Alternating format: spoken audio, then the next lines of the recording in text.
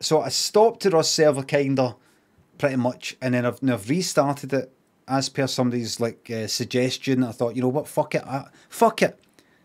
It's paid for up until the beginning of August. Let's go for one last wipe and just see how it goes. Stream sniping's allowed. Offline raiding is allowed. Fuck it. You don't like it, don't fucking play. Simple as that. Um, and we'll see what happens. See if it goes well. And people are getting, uh, people are enjoying playing it. People are having a laugh. People are watching it. Like people are benefiting it, uh, fit, uh, benefiting from it.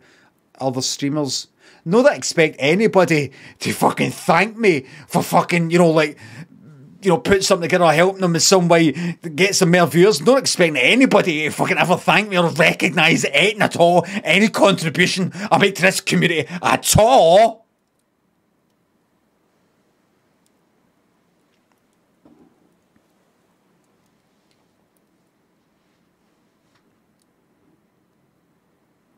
You know, they, they, they say you should never give expecting to receive.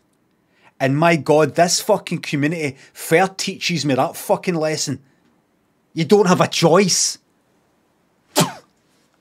Sorry, I don't know what's going on to me. It's it's a holiday. I'm I'm I'm jet lagged. I'm jet lagged. I'm jet lagged. Um, a, ho- a, a horrible streamer. Streamer, usually lovely streamer. I get this clipped. Usually lovely streamer lashes out uh, with with effects of sunstroke, good one, sunstroke and uh, jet lag.